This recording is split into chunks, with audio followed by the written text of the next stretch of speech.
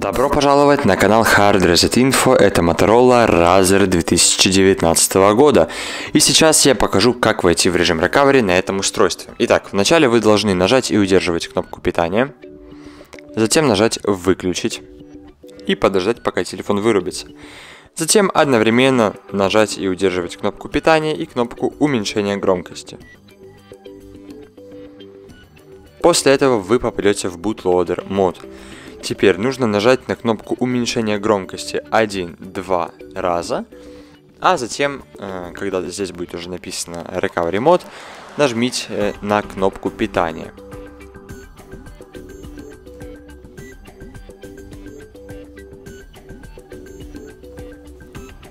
Отлично, мы в шаге от цели. Теперь осталось нажать и удерживать кнопку питания. И пока удерживаем, нажать и отпустить кнопку увеличения громкости, затем отпустить кнопку питания. Отлично, мы в режиме recovery. Поздравляю вас!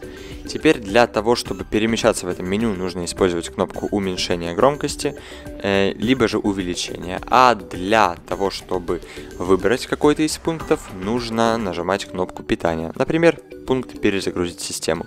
Чтобы перезагрузить телефон и войти опять в нормальный режим, нажимаем кнопку питания и ждем, пока телефон включится.